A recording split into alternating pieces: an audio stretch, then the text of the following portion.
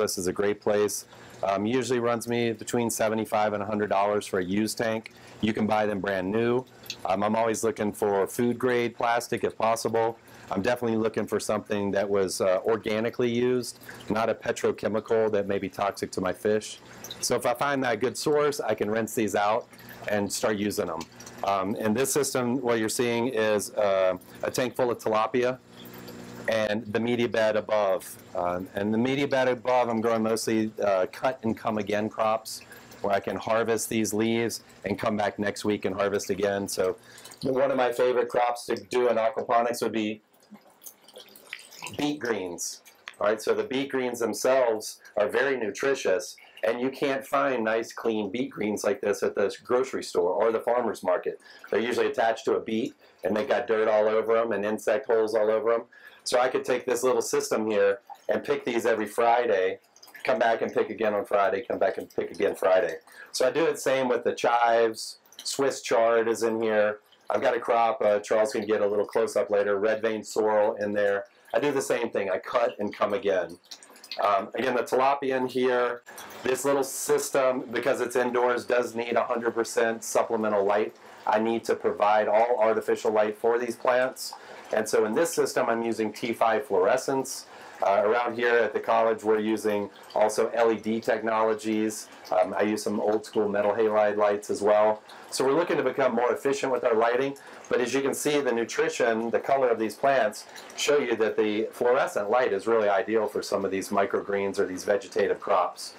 Um, the other thing you'll see in here that's a little different than most grows is I've got a lettuce that I'm letting go to seed. Um, I went through variety trials when I got here. Everybody should go through variety trials um, in their own environment.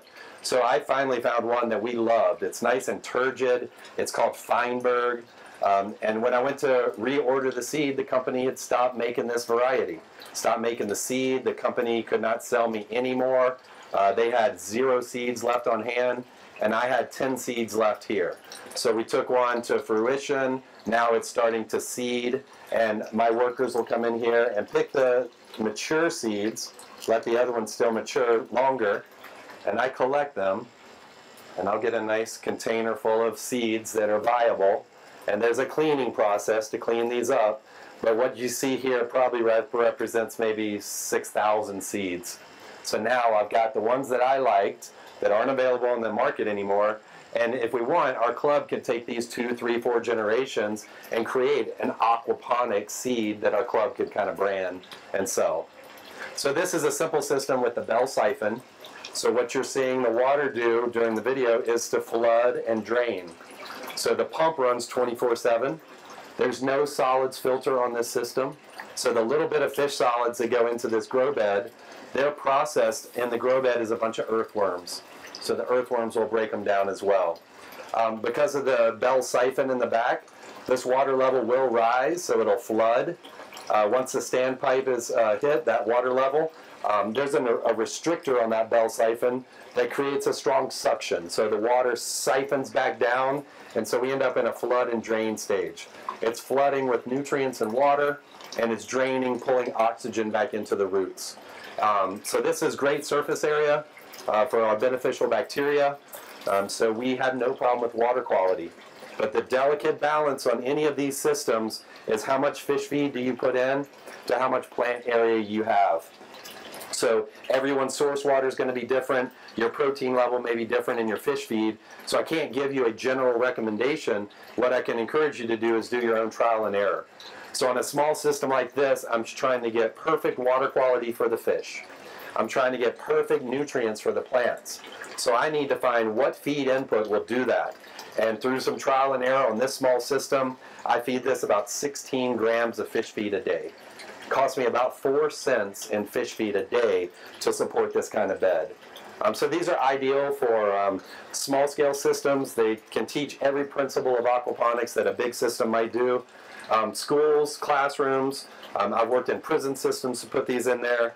And they're just an integrated system that teaches everything that you may need to know uh, to scale up to a larger system.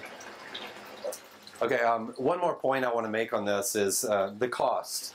So I can get this cost down if I can find used tanks and uh, maybe even used lights. I could get it down to a couple hundred dollars. one place you're going to get dinged is the material for your media. Uh, what, I, what you're looking at in my hand here is Hydroton. It's a clay ball. Um, it's fired really hot. It's very inert. It's not going to break down in your system. But if I filled this grow bed with just the clay balls, I may be looking at about $250 worth of clay balls. Um, we like the clay balls because as we work, especially with cut and come again crops, it doesn't hurt my hands. It's nice and smooth. But to save money, what we did is the bottom two thirds of this I filled with very cheap pumice. So I go to the landscape company and I'm choosing a media also that's inert that's not going to break down. We don't want something that's full of carbonates that's going to shoot our pH up to 8, 9, or 10. Um, so I'm looking for something inert that's not going to break down. Before I use a media like this, I do use uh, what we call the vinegar test. I can drop any media that I want into a container of vinegar and I'm watching for the bubbling, the neutralizing of that carbonate. Um, if I see uh, aggressive bubbling, that's a media I'm not going to use. So before I use something like this, I did test it in the vinegar uh, solution. It did not bubble. Um, some of it went into the pore spaces, but it showed me it wasn't a carbonate, and I was able to use this and save a lot of money by filling two thirds with a cheaper material and one third with a nice smooth rock. Um, one thing about these bell siphons is you do need the right flow rate. So I've got water constantly going into this grow bed, creating the flood and drain.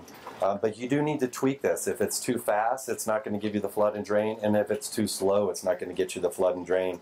So on these pumps, before it reaches the grow bed, I have a bypass valve that allows me to regulate the flow, and then I'm monitoring for my flood and drain. Um, down on, on the riser, this is where my bypass valve is, if you want to capture that. And then Charles, if you're able to, um, there's the drain back. You know, I, will sit there, you'll see it off for a while, and then you'll see it kick on. Um, you're not going to do the whole thing because it's a seven minute drain cycle.